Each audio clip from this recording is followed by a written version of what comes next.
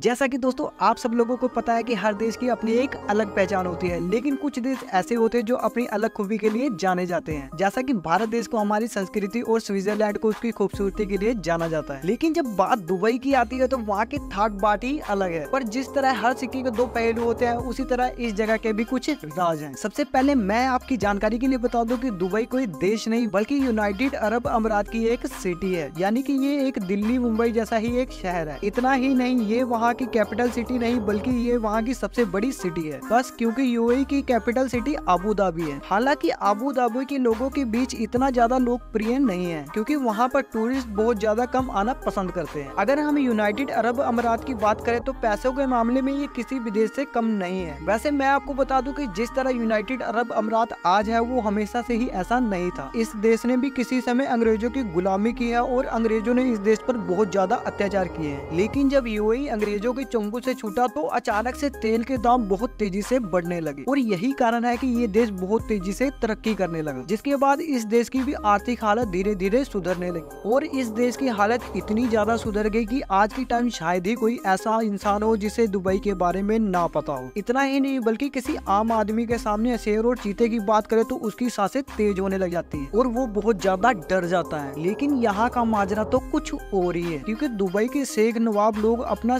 Status दिखाने के लिए शेर और चीते को न केवल अपने साथ रखते हैं, बल्कि उन्हें अपने साथ हर जगह अपनी गाड़ी में बैठाकर भी ले जाते हैं, ताकि वो लोगों के बीच अपना शान और रुतबा दिखा सके। लेकिन कुछ समय पहले जंगली जानवरों को पालतू बनाकर रखना बैन कर दिया है। अगर फिर भी कोई ऐसे जंगली जानवरों को पालता है तो उस पर एक लाख अठतीस हज़ार डॉलर का जुर्माना भुगतना पड़ सकता है। और अगर हम यहाँ पर पिए जाने वाले पानी की बात करें तो इसे फ़िल्टर करके तैयार किया जाता है, ताकि पानी में मौजूद नमक की मात्रा को हटाया जा सके और एक दिन में लगभग चार बिलियन बोतल को फ़िल्टर किया जाता है और पानी फ़िल्टर करने के दौरान फैक्ट्रियों से काफ़ी ज़्यादा मात्रा में कार्बन डाइऑक्साइड निकलता है, जो कि वहाँ के इन्वायरमेंट के लिए बिल्कुल ही ज़्यादा अच्छी बात नहीं है। इसके अलावा आप सब लोगों को पता ही है की दुबई एक अमीर शहर है, इसलिए आप सभी लोग ये अंदाज़ा लगा सकते हैं क्योंकि वहाँ पर सभी सरकारी कर्मचारी लेम्बोर्गिनी और मर्सरीज जैसी गाड़ियों में घूमते हैं। हालाँकि ये बात कुछ ही परसेंट सही है। अगर दोस्तों आपको इस वीडियो में दी गई जानकारी पसंद आई हो तो वीडियो को लाइक एंड चैनल को सब्सक्राइब करना ना भूलें। बाकी आज के लिए इतना ही, मिलते हैं अगली वीडियो में।